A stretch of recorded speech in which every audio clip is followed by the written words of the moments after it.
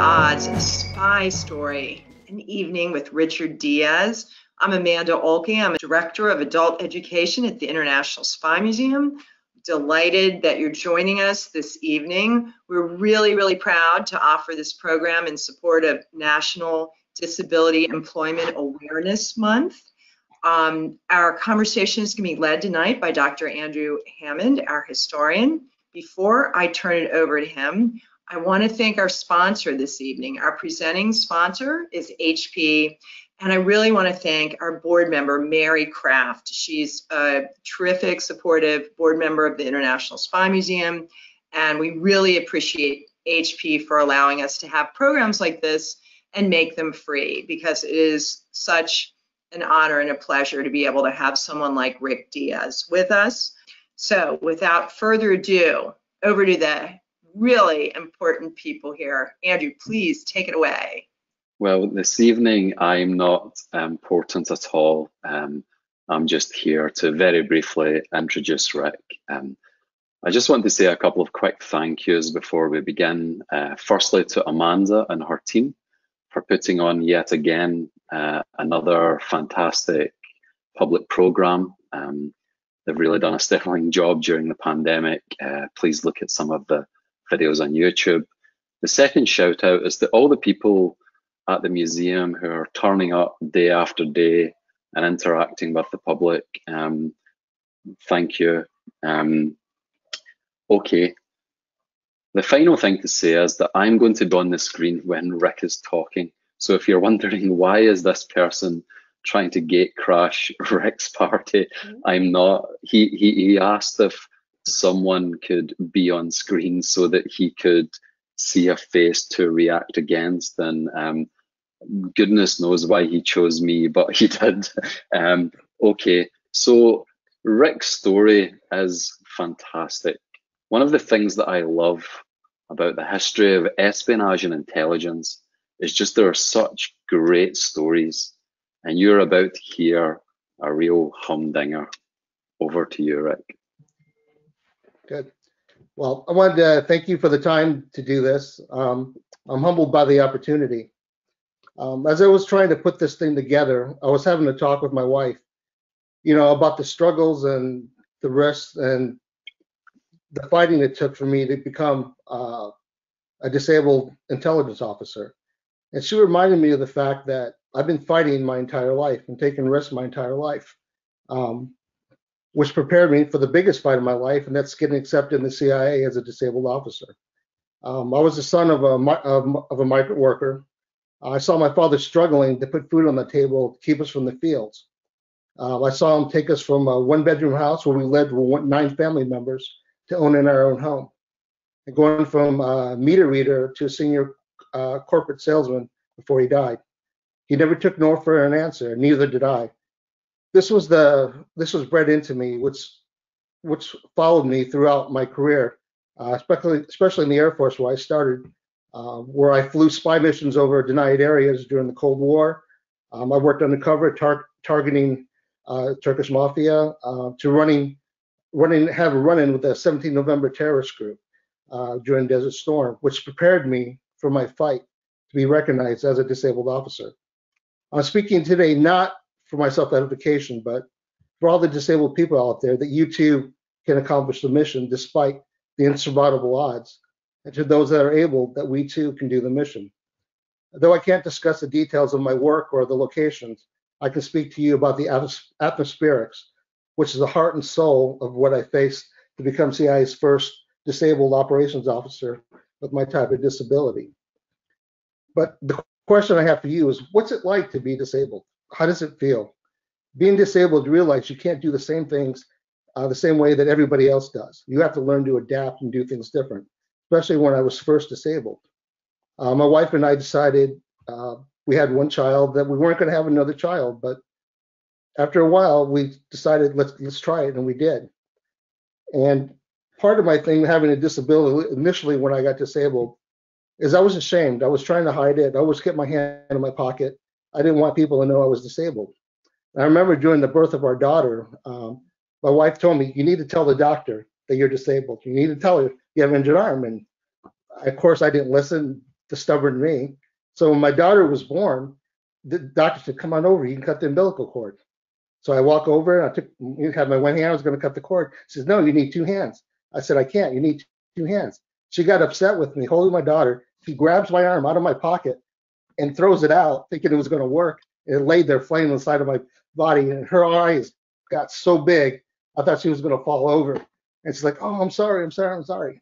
You know, and my wife just looked up, looked up at me and shook her head. I told you. So listen to your wife. That's the moral of that story. But then also had the same problem when my son was having his first communion. And part of the process was walking up in the procession uh, with the nun. And I remember this old nun, uh, old school nun was there. She was very strict.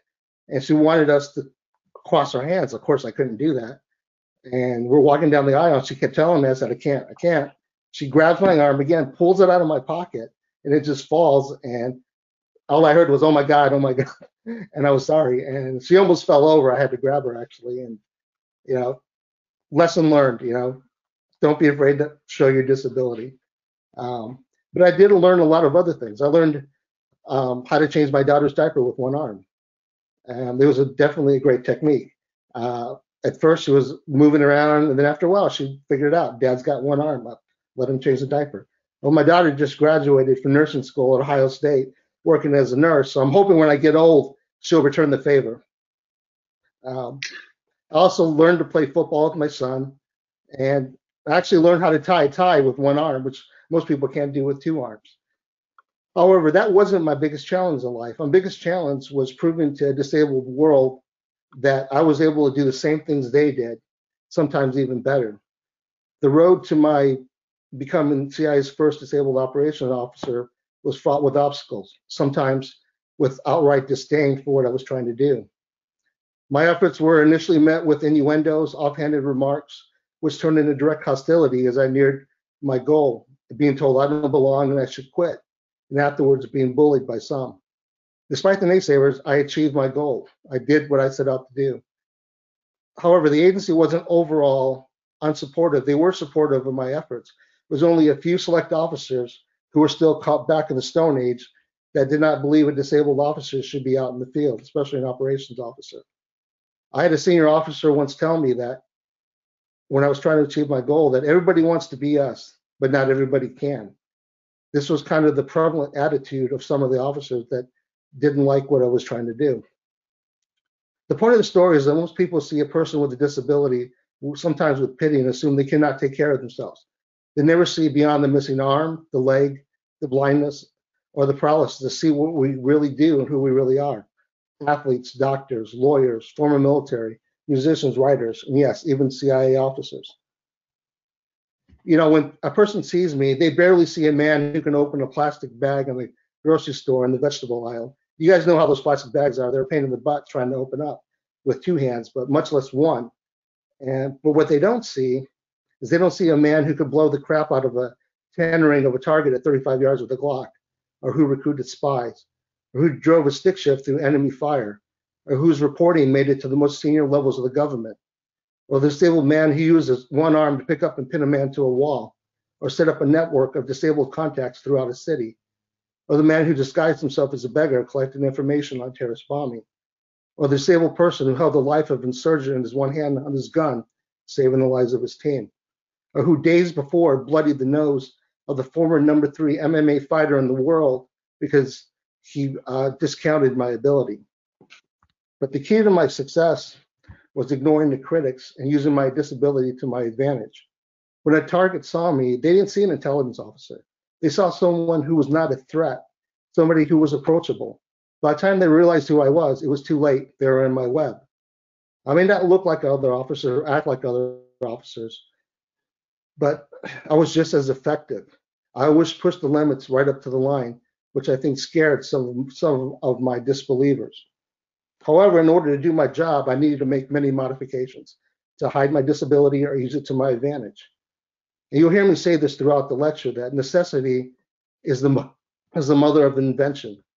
I had to blend into these environments. And so one of the things I had to do is I went to the office that took care of that at our headquarters, and we tried to come up with a bunch of different methods to hide my disability, and they couldn't figure it out. They couldn't figure it out. So they ended up giving me a sling and said, "Go ahead." I'm like, "That's not going to cut it." So I invented my own disguise devices. I developed a, a pull-away shirt with Velcro down the back. I could easily pull on and pull off. I had a long thobe that I developed with Velcro on different parts of it, so I can slip it on and slip it off, or slip it over a ballistic vest to hide my gun and take it off when I needed it. Um, also developed a method to make my arm appear as if it were functional, using some Velcro and some modified gadgets along my side. Um, you know, I know we're not here to advertise a little bit, but I'm going to show you something. Velcro and scissors are what saved my life. Uh, I have Velcro. I use Velcro for everything, and I sew everything. And look at my back wall. Some of the photos are all put up with Velcro, and I always keep Velcro in my house. And my wife always just shakes her head about how much I love Velcro. My kids always make fun of me about it, but that's okay. Um, my disability and my skin tone also gave me advantage over other officers. I could blend in to 90% of the world. Uh, I could easily convert myself to look like a local, and within seconds look like a beggar in some of the most austere and dangerous environments in the world. From the beginning, my entire life was built upon actually becoming an FBI agent and not a CIA agent. When I was a child growing up, um, I used to watch those old TV shows with my grandfather. My favorite show was the story of the FBI. Those guys wore the cool suits, they wore the great shirts, the great shoes. I wanted to be that, and they went after the bad guys. That's what I wanted. Um, when I graduated high school, I realized either myself or my family could afford for me to go to college. So I joined the Air Force in law enforcement because when I finished my degree, that was going to be a leg up to get in the FBI. Um, there, I met my wife uh, of 33 years. She's the love of my life, my biggest supporter, and she's actually my greatest recruitment. And she's been there supporting me throughout this whole thing, uh, throughout my career. So when I was in the Air Force, I eventually finished my degree and I started applying for the FBI. And we moved to San Angelo, Texas, where I was an intelligence instructor for the Air Force. And there I received word that I made it into the FBI. This was one of the best days of my life, aside from the birth of our child and my marriage. And then I went out jogging on a Saturday afternoon uh, to get ready for the FBI. I went on my normal route out in the middle of the desert when a truck ran off the road, hitting me at about 62 miles an hour. I was about three inches from being killed. He left me there on the side of the road to die, and it was a hit and run, I, and he didn't come back. So, you know, I was laying in the desert. I managed to get myself up, and I needed to look for help on the side of the road, but I was in the middle of nowhere. And I remember a car came by, and this lady in the car, older lady, looked at me, and I was yelling for help. She looked at me and she kept going. That nightmare played itself out three or four more times where before I got so tired that I just fell out, fell on the side of the road. And when I woke up, there was an Air Force member and his wife there. They saved my life. And I remember I thought when I was injured that I got a broken arm. I didn't realize that my arm was paralyzed. And I was in the hospital laying on the doctor laying on the bed, and the doctor comes in and says, and I asked him, I said, how long is it going to take to heal? Um, you know, I got to change my academy date for the FBI. And he looked at me and he said, son, you don't have a broken arm. You had the T1, C2, and C3 nerves pulled from your spine. And you've got another nerve just dangling from your spine. You're paralyzed. And the only hope you have is to have immediate surgery. So the Air Force scheduled me to have surgery at the end of December of that year. And it was about two weeks from the surgery, and it was a couple of days before my father's birthday when I got a phone call that my father was killed in a plane crash in Meridian, Mississippi. So I had to delay the surgery and go take care, identify his body, and go take care of his estate and the funeral. I did eventually get the surgery, and when I got it, it was too late, and I got very little movement back. To add insult to injury, the FBI calls me and said, "Hey, since you can't shoot a gun, you're out." Then the Air Force calls me and says, since you can't shoot a gun, you're out. Little did I know at that time, the rest of my care, career would be spent carrying a gun to prove them wrong. I was unemployed and got a job up in Pennsylvania, which was short lived because of budget cuts. I lost the job there. And I was unemployed again for nine months until I got on with the DoD Inspector General's office. which led me to the CIA's Inspector General's office. And we were doing an evaluation of the DO's counterterrorism center. And part of my job was to interview the head of the center, who was Cofer Black. Now I remember going in, and at that time I knew I wasn't going to be an FBI agent, but I thought, hey, I could be an operations officer. This is what I want to do. And because I know they don't carry guns that much, but little did I know I'd be carrying a gun most of my career. So I sit down and I'm talking with Cofer, and I asked him, hey, why do you guys do what, what you do? Why do you do the job? And he began to very eloquently tell me the story of the frog and the scorpion, about how this frog um, gave a scorpion a ride across the river with the promises he wasn't going to bite him. Halfway across, the scorpion bites the frog, and the frog asks why, is they're dying and drowning. He said, it's in my nature. Two weeks later, I sent an email to Cofer and said, I want in. Within the month, I was working in CTC. Um, this was about a few months before 9 11. So after 9 11, CTC set up a special program to go after the culprits of, of the 9 11 attacks. And I volunteered for the program. But part of that process was getting weapons qualified. So I went down to their training office and said, Hey, I need to get qualified. So the lady calls down to the training section and tells them I'm disabled. I need some modifications and to go through the weapons course. And they said, well, we got so many people going through due to 9/11, we don't have time to qualify somebody that's disabled because they're not going to go to a war zone. Uh, learning not to take no for an answer, I applied five other times and got rejected five times. Then I finally found um, a local office there at headquarters that was willing to certify me because I had weapons, pre- previous weapons experience with the military. Well, so which also brought another series of complications. So we went down the range. I had to figure out how to fire a Glock, fix a jam, change magazines, and stay on target. So one of the things I did, and this was with one arm, and much less with two arms. So I purchased two um, magazine pouches for the right side. I put them on the left side behind the Glock, and I had a Kydex holster. And I reversed the magazines so when I had to load, all I had to do was pick up and push in. I could load the magazines. By the time I was done with that course, I had figured out how to load the magazine, fix a jam, and fire three rounds in four seconds. And that's with one arm, much less two arms. And I qualified.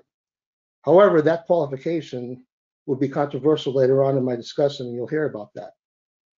So now I'm all set. I'm ready to go to the war zone.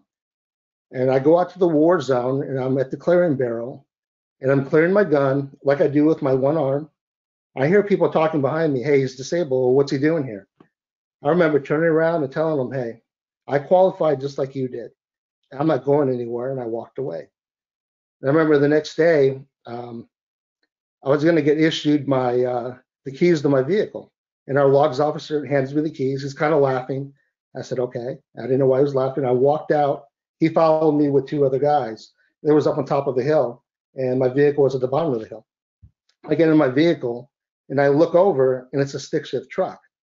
Then I started laughing to myself because when I was first disabled, I had a stick shift truck. And I remember my my son will never forget this. He was three or four years old at the time. I trained him to shift up and shift down while I was driving that stick shift truck. And we, we actually did a pretty good job together. It was a, really a bonding experience. I eventually learned to drive with my knee and shift the truck without issue. So I started the engine and I took off, sped off out of the parking lot, drove past the guys, rolled down my window, kind of waved to them and kept going. And they sat there with their mouths open and didn't say anything. Later on, I had a supervisor talk to me and, and told me that there was some concern about my ability to handle myself in the war zone with a disability. And within 24 hours, I had proven his theory wrong. We are out running an operation uh, in a local village, we usually had our security go out in front of us to take care of us and uh, to clear the way. So one night we were out early in the morning, or about two o'clock in the morning. Security goes out, clears it, and we're coming out of this area. I'm in the back seat, and I have a uh, translator as a driver and two other guys in the truck. As soon as we pull out, there's an insurgent with an AK-47 pointing at us.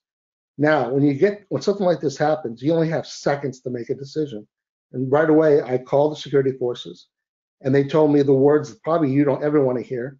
We're too far away. You're on your own. You have to deal with it. So I had the lives of these guys that I had to take care of. I was responsible for them. So I had three things pop in my head right away. The first thing was, A, number one, do I take this guy out with the truck? We were in the thin skinned vehicle, which is unarmored. The bullets from the AK 47 would have gone right through the vehicle and probably get killed.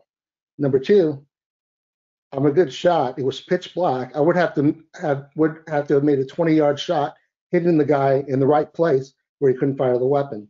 I wasn't going to take that risk. Number three, talk my way out of the situation, and trust my translator. Fortunately, I chose the latter and we got out of there safely.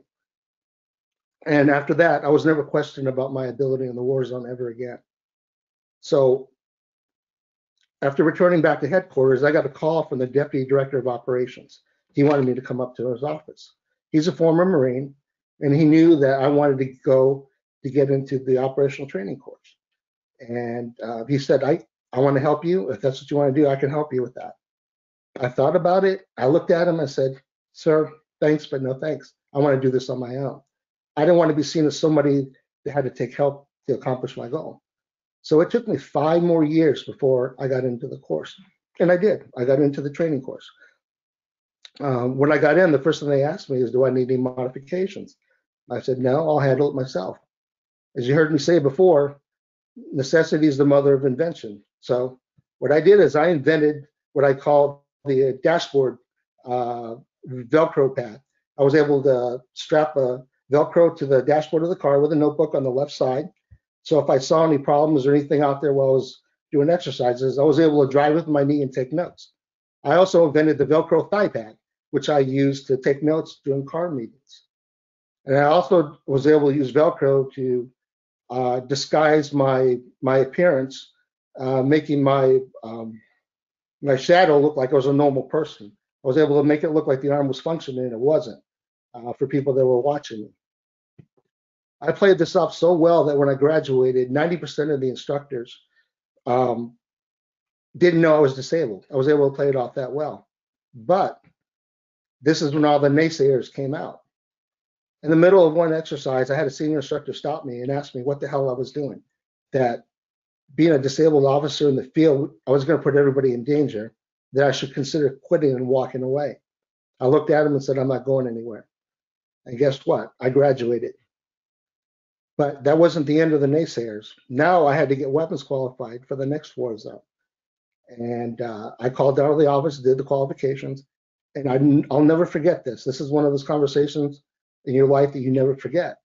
The guy on the other end told me, I know who you are and what you're trying to do. Your first qualification was illegal and should never have been done. You don't need to be in the war zone.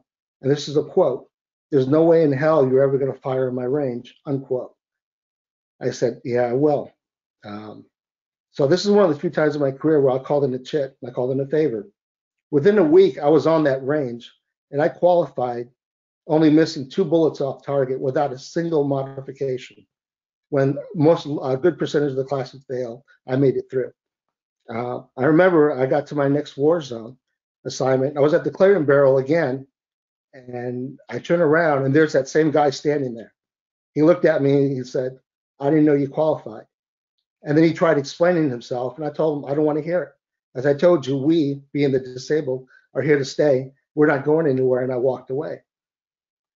But not even 15 minutes after getting off the helicopter, I was called into an office by my new supervisor. And uh, he sat me down and began to berate me a bit, telling me, I know what, you, what you're trying to do. I know who you are, and I don't like you. He said that um, it's very dangerous out here. If you want to stay safe, you need to sit down and shut up and do what I tell you. Of course, I said, Yes, sir. But I fought him every step of the way for the next six months. Eventually, I took his job and he was gone. So, you know, again, the naysayers were definitely out there. So, in summary, just kind of gave you kind of a brief thumbnail about my background. But, you know, I spent my entire career in the CIA trying to prove I was able to belong. But what I failed to do was recognize my disability. And, you know, again, I was somewhat afraid to show the world that I was disabled at first. I was embarrassed. I was ashamed. I realize now that that was a mistake. I tried to hide my hand in my pocket. I remember a friend of mine told me, uh, Frank was telling me that I met, hey, you trying to be Mr. Cool, carrying your hand in your pocket? He had no idea I was disabled. And I realized at the time that I shouldn't be ashamed of it. I need to be able to do that. That's part of the reason why I'm doing this today is because I do believe that we do have something to offer. And then some, if someday you guys come across someone that's disabled, you might want to get to know them. You might be surprised. Okay. Thank you for your time. Well, th thanks so much for sharing your story, Rick. Um, it's really incredible. Um, I think the first thing that I wanted to ask, and the most obvious question, is what advice would you have for someone who was disabled who wanted to join the CIA? Um, has the landscape improved? Has it shifted um, during the yeah. course of your career? What what what advice would you give to someone that came across this video that um, wanted to join an intelligence agency? Sure. Uh, when when I was first disabled, there were no there were really no major support groups out there for helping the disabled out. There were no uh, affinity groups or anything like that. The laws changed and times have changed since I was disabled for the positive. Um, the agency has their affinity groups, their disabled affinity group, which is really helpful. Um, they are taking better look at the disabled now compared to when I went through. Um, and the biggest thing is to be able to make those sacrifices to join the agency, but also be be out there, be aware that there are naysayers out there, and not to quit. That is really, really important. I know, like for us, uh, being disabled, my wife and my family, we had no support groups. We had nobody to talk to us, nobody to go over that. We had to figure it all ourselves. And it was my wife who was the strongest one. She got us through this. But again, nowadays, there are groups out there to help. And they will help you get through the process and they will help you get in the agency. And the agency does have a good support group now for the disabled. It's changed a lot. And, and the other thing that I was really interested in was what what kept you going through all of this adversity? What was the what was the thing inside of you that made you keep going when other people would just have quit? Was it a role model? Um, was it was it just your personality? Mm. What what what was the what was the the the propulsion that that made you get yeah. toward your goal? I think the biggest thing was my father. Um, he was like me, very stubborn. He didn't give up. I mean, he worked himself up from being a migrant worker all the way through he faced um, you know some discrimination and other things, and he fought fought, and I watched all this, and that's I think what gave him my my greatest strength. But also what gave him a great, greatest strength not to quit was knowing that I had a wife and kids that I had to take care of, and again, I don't take no for an answer. Somebody tells me no, they close the door. I look for a window and I go through that window, and I don't stop. I guess that that's that's the whole thing. It's not giving up and not stopping. Mm-hmm. And one one final question before we pass back over to Amanda. Did you ever get the opportunity to mentor um, disabled uh, officers or applicants or, or other people that were trying to um, mm-hmm. trying to get into intelligence agencies? Um, yeah, I did. A um, couple of things. Um, I tried to get a program started where I was going to bring in um, disabled veterans to try to be operations officers. Um, and, you know, it took a long time to even get the acknowledgement for that. And, and, they're starting to do a lot more of it now. But I did have a couple opportunities. There was a a lady that was disabled that was shooting. They actually called me down to look at this device and to talk to her to kind of kind of encourage her, you know, to get through the weapons course, and she did. Um, and you know, they really gave me a great opportunity to mentor her a little bit, look at the device that they were trying to use for. It was it was a good collaboration and it was very helpful.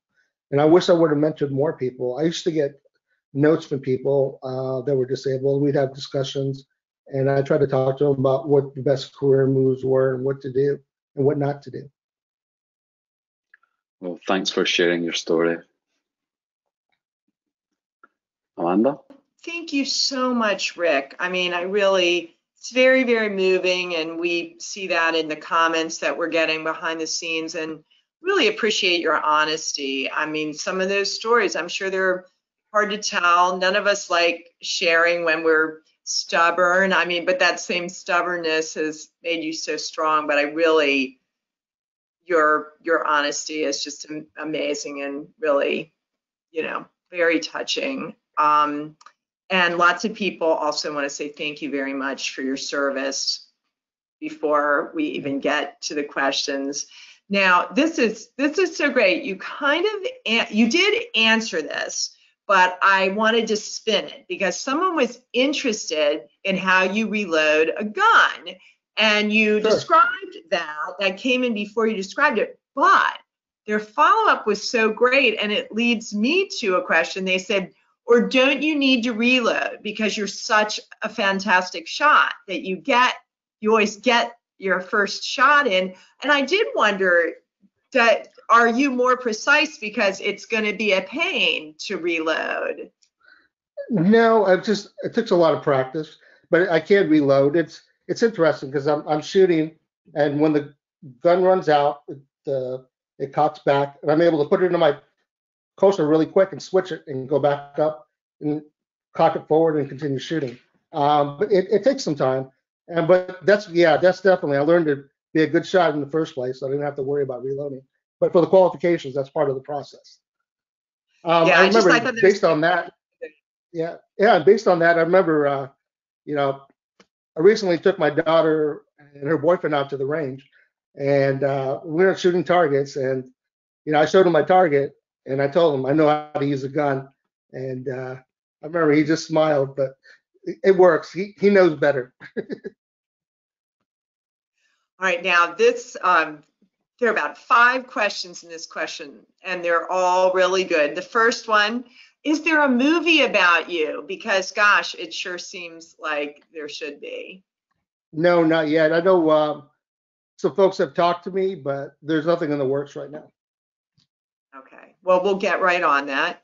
Um, Oh, have you you. ever, have you ever thought about getting a robotic arm? I looked at that and uh, I talked to, I think it's a, a place out of Boston to try to do that, but I'm so used with the one arm, it, it, it wouldn't do me, it wouldn't do me any good. I mean, to be honest about it, it's, it, it wouldn't bring anything back for me. You know, I talked to him about it, we evaluated on the phone and it's, it just wouldn't work for me. How long um, have you been without your arm? A I don't mean to make you 90, say how old you are. 95, 1995, Um, and you become used to it. and people are very intrigued by the mannequins and the mannequin heads in the background. What are those? What do they mean? Can you share them with us? Sure. This is these are just kind of uh, these are based on and sometimes not actual, but some of the disguises that I use that I had set up, and that's what they are. And I just kind of bring them out. My wife hates them, but I bring them out anyway. So Did you have a favorite um, disguise or undercover look that you felt you really pulled off super well? I mean, my my whole thing was being able to pull off uh, being a disabled person or a beggar. Um, that was my, my biggest thing because of my arm. I was able to do that in a lot of environments. I mean, I could sit there in front of a bad guy and watching him for hours because I was sitting on the street with my arm out, you know, and among others that were there, I blended into the environment. They had no idea I was there. So that's kind of my was kind of my favorite thing. That's really using, you know, it's like making an opportunity, taking an opportunity. That's Oh yeah. great. Um, and um, someone wants to know what drew you particularly to war zone deployment? because the FBI and the Air Force told me I can't shoot a gun. That was the first thing. Um, after 9/11 as well, um, 9/11 really struck me. Um, it hit close and personal. Um, you know, my wife and I remember it was when that day when as soon as it happened, we had kids. Uh, our, our kids were out to school and everything went blank. There were no phones. There were no way to connect to our kids or anything. Um, we remember that day. It was it was you know, those of you that lived through it, it was just incredible. And that kind of made inspired me like I got to do something. You know, I got to get out there um, and being patriotic. I was in the military, and I mean, I still get a tear, believe it or not, every time the Pledge of Allegiance comes on or national anthem because that's how I believe, and that's why I volunteered to do that when a lot of people wouldn't do it. Um, let's see, someone wants to know, and thank you for answering some of these questions, which may be super personal, but were you right-handed to begin with and had to change to be left-handed? No, fortunately, I was left-handed, so that was a big advantage. So I got lucky in that way. Yeah. I know, as as lucky as that could be lucky. Um, Yeah. uh, yeah. Wow. So you could. Oh, that is that is really something. Um, you mentioned now. Were you a pilot? Did you say you No, piloted? I was a I was an intelligence, and um, we flew on um, RC-135, some other aircraft. yeah, I didn't know. the Cold War. yeah, people were wondering if you flew and had. I mean, it sounds like you get behind the wheel of an airplane and figure that out. And I Oh yeah, that I could if I could. Yeah, definitely. Yeah. Um, okay, let's see. Um, okay. This is someone very personally who has unseen disabilities, um, Mhm. a disabled vet, very, very young, um, and is now filling an analyst role. And um, he has hopes to get back to the operational side soon. And is there any advice that you can give to prepare mentally, for him to prepare mentally to combat ableism um, and push through to make his dreams come true?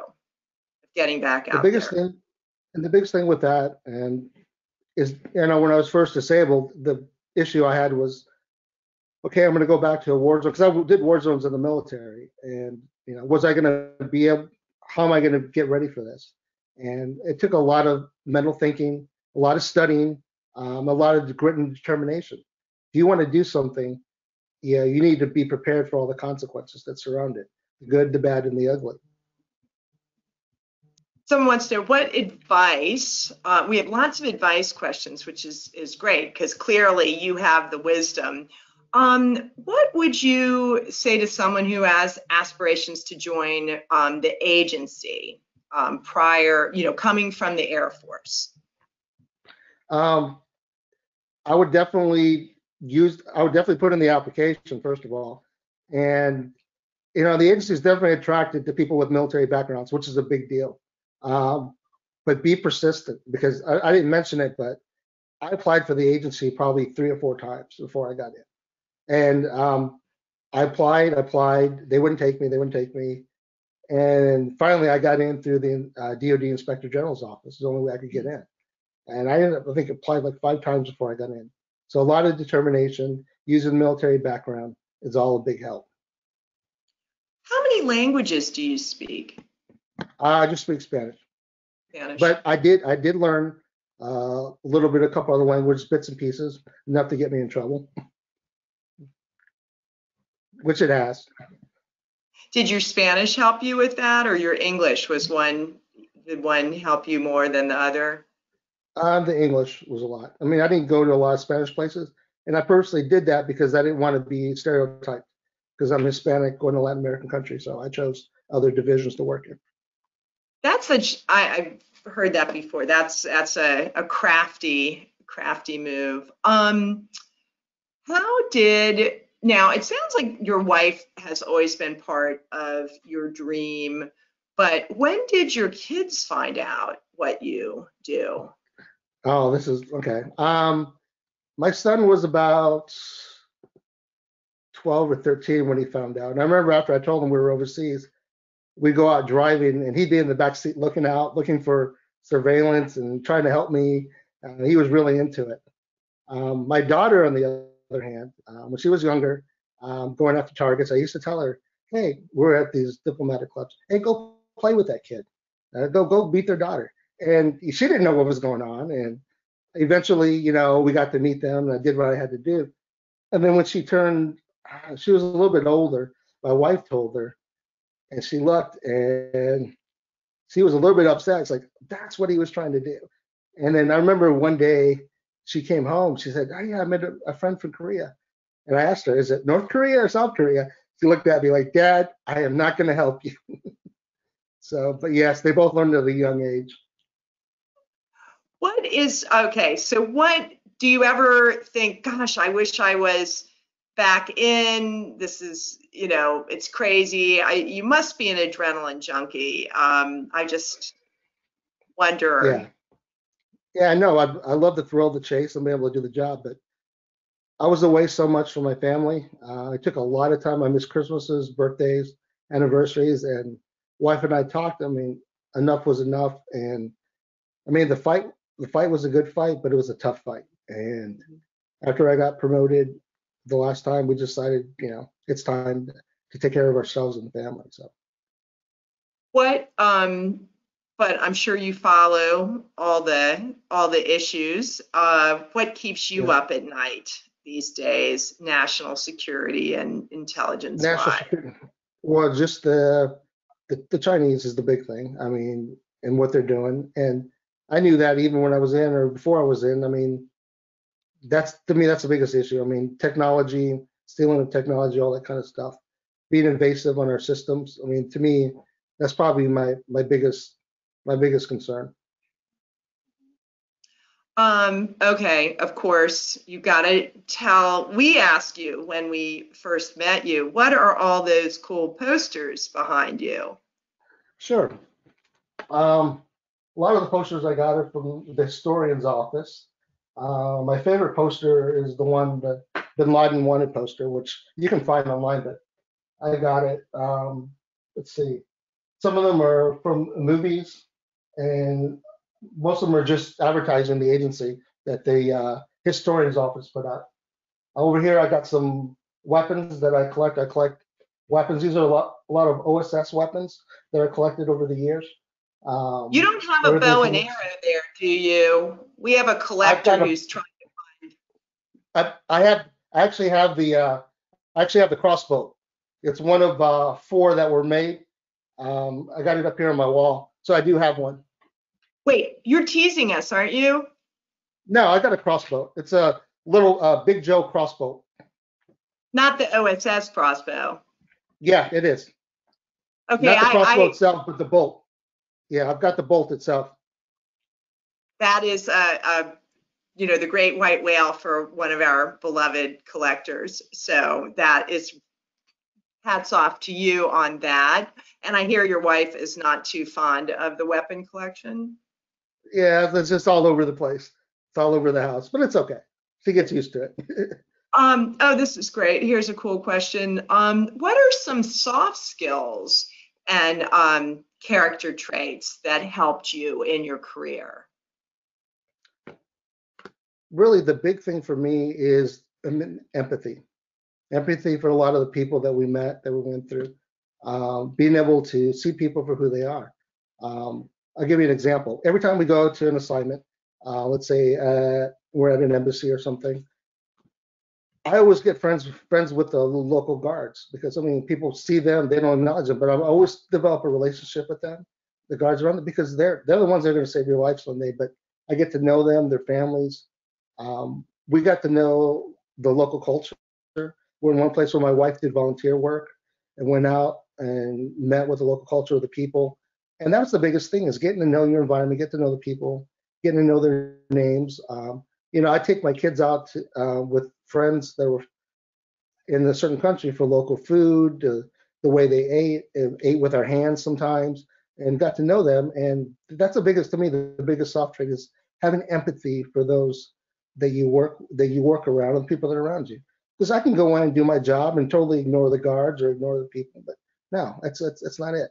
You got to be able to have empathy, and those soft skills are really important because you never know when you might need them. Um, did you encourage um, uh, your kids at all to go into this this sort of work? No, um, you know, they they saw what I went through, but I let them each take their own direction. I mean, like I said, my my daughter uh, just graduated as a nurse. That's what she always wanted to do. And my son's in, in anthropology. He's finishing up his uh, his degree in anthropology and wants to go in and do that. And you know, I, I let them kind of do, their own thing because I, I just didn't want to pigeonhole them, tell them you should do this. And they made up their own minds, and we're fine with that. When you were talking about access and empathy, did you um, and I, I know you certainly worked to help, as you discussed, um, other disabled officers who might want to come on board. Did you also um, work with the um, Latino community, Latinx Mhm. community Do you? Um, not, I mean, uh, I worked with their affinity group a bit, but not as much as I should have. Because I was more focused on the disabled. Um, I think this is the same. I'm going to give this guy two questions because um, I appreciate where he's coming from. Um, he was asking, would you disclose a disability that was invisible, or would you go through the process and then reveal it? Do you have any advice? No, no, I, I, no, I would, I would disclose it. If you're going in for application, definitely disclose it. I mean, there's nothing wrong with that. Um, you gotta, you know, the trouble I had when I first got disabled is I didn't want to own it. I was ashamed. I wanted to hide it. And if you have it, you need to own it. And you need to work with it and deal with it. And people are to have to learn to live with that. And if they don't, they don't like you for what you're doing or whatever for your disability, that's on them. But yeah, definitely don't be afraid to disclose it. Don't make the same mistakes that I made. Um, what was your favorite assignment? Um, being being in the Middle East area is probably my favorite. What do you, I mean, had you imagined going Um, there or was, Uh, no, not at all. It was it's the culture and the people that we enjoyed. I mean, with every assignment we did that, but that's because we got to know the culture, we got to know the people, and everywhere we went, that's what we did, and that that's the key to being happy and the key to our success. Um, you had mentioned to us before, and I don't know if you said it tonight because I, my computer was glitching a little bit, um, about the special skill that your grandmother taught you that you She used. taught me how to, she taught me how to sew. When I was in the war zone, that's all I could do is I sewed. So I sewed my own stuff with uh with, with Velcro. So That, and it worked. That is great. Do you ever like, or, you know, you, did you whip up Halloween costumes for the kids too, ever? Oh my God, no, what? No, but I'm a Halloween fanatic. Um, I always won the local Halloween contest. I've got, I've got skulls from everywhere. I've got, you know, fake bones. I mean, I always won the Halloween contest. I remember one time we were shipping back our stuff, and the guy was going through my, because I have actually have two real caskets, believe it or not. Oh, Um, so, so there were bones in there, and the guy's like, "Sir, uh, we can't ship back human remains."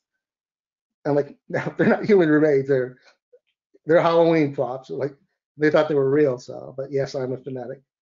Um, oh, I want to go back on the question you said that um, the NC does also have support for another important topic is a mental dis- uh, mental disability, mental illness as well. And to me, with all the the pressures of the war zone and everything, that's extremely important uh, to ask for help. So, Um, Courtney says she's proud of you, Dad, She's is very oh, nice. she's there. Yep, yep, your daughter's here. Um, She made it. you made it. Um, what do you, folks want to know what you're doing now? Certainly you've earned some, some rest R and R, but Mm. I can't imagine someone with your uh, mental and physical energy is just getting ready for Halloween. No, I um actually started working. Well, I'm retirement, but all, because of COVID, but I actually started my own company, uh, Alcor International, which company of one and my wife. Um, basically, just giving um, security advice to the companies, um, staying safe and secure. But I also developed a program um, using the uh, open source intelligence recruitment cycle. I was able to convert that to a business recruitment cycle teaching businesses how to spot, test, develop, and target, you know, the big fish, the clients, and seal those deals. Um, if you could say something, here's another advice one to 10 year old Rick, what would you say? Never lose your dream. Always stay focused. Keep your eye on the prize.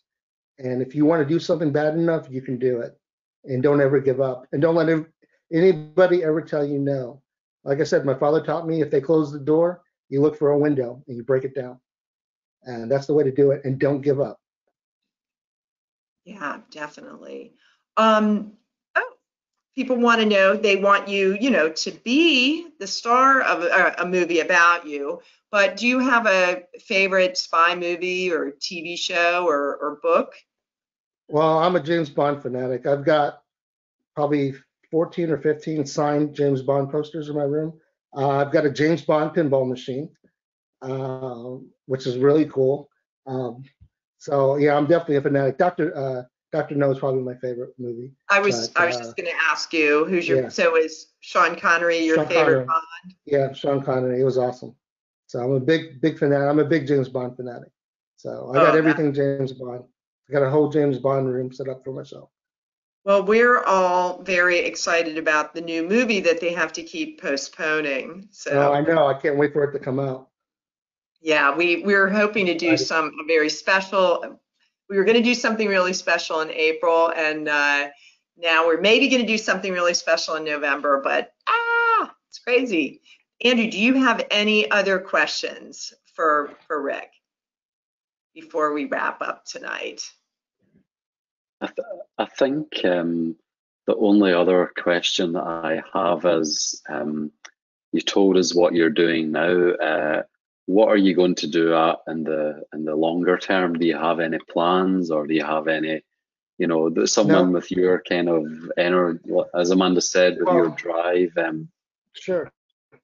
Well, one of the things I want to start doing, I'm starting to work on that, is to be able to do mo- motivational speaking, to get out and, um, know, I'm a certified instructor, so I like to get out and do some motivational speaking to help, you know, talk to the disabled vets or talk to some other groups or even corporations or other things, just kind of do kind of a my spiel and do some motivational speaking. If that opportunity comes up, I'd love to do that.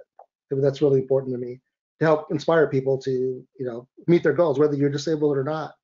Uh, having that drive and not give up attitude, that's the way to do it. We all need some good motivation these days to to keep going and putting one foot in front of the other. Are you familiar with the World War II spy Virginia Hall, the one-legged um, Mhm. Yes, officer? Yep. Yep. Um, one guest wanted to know if she was an inspiration to you, if you were aware of her, or if you became aware of her later. Oh, very much aware of her. I mean, she was, she helped inspire me a lot. I studied her a lot and her background and what she did. Um, no, I think that that was a huge inspiration for me because, you know, she was disabled. She was out there jumping behind enemy lines, running the radios. I mean, what she did was incredible. And, uh, you know, she's probably one of the most inspirational women, you know, I've ever read about. And that really helped inspire me. Yeah, that was a big, that was a big thing for me, was what she did. It was um, the theme for History Day for um, middle schoolers this year was very motivational and inspirational. And we did a lot of interviews on Virginia Hall, and it was always a pleasure to see these kids excited about this person who had overcome, you know, Yeah. gender, and then she'd overcome a disability. It, it's really Oh, yeah. quite a quite a cool story. Um, if folks want to reach out to you, um, can we forward their questions to you Sure. after afterward? Yeah. That is That's fine. that is so. Oh, um, Frances Zettel wants to know if you know what she called her leg, and I know, and I bet Andrew does. Do you know, Rick? No, I don't know. No, Cuthbert. Cuthbert. She called it Cuthbert. I like that. Isn't that great? I Yeah. like that. That's awesome. All right. They don't want to go, but we will go and let people have their dinner. We want to thank you, Rick. This was just tremendous of you. Um, we are so thrilled that um, HP could be our presenting sponsor for this. It really means a lot for us to support National um, Disability Employment Awareness Month really special for us. And we do lots of programs, and you guys know that if you've been here before. And if you haven't, check out the website. The next really cool thing we're doing is Andrew will be talking to a man, a wonderful historian who's just read, read written a new book on the Nazi spy ring um, during World War II in America. So that's going to be next Thursday at noon. It will be free, and we can make programs free because of wonderful people like Mary Craft and HP. And also, if you feel like making a contribution to our mission resilience campaign, it will be doubled. If you even if you give us 10, we'll get 20 between now and the end of the year. So sorry for shamelessly promoting that, but we appreciate any little thing you can do. And Rick, you're the best. Thank you. And Thank you. Such a pleasure. Appreciate it.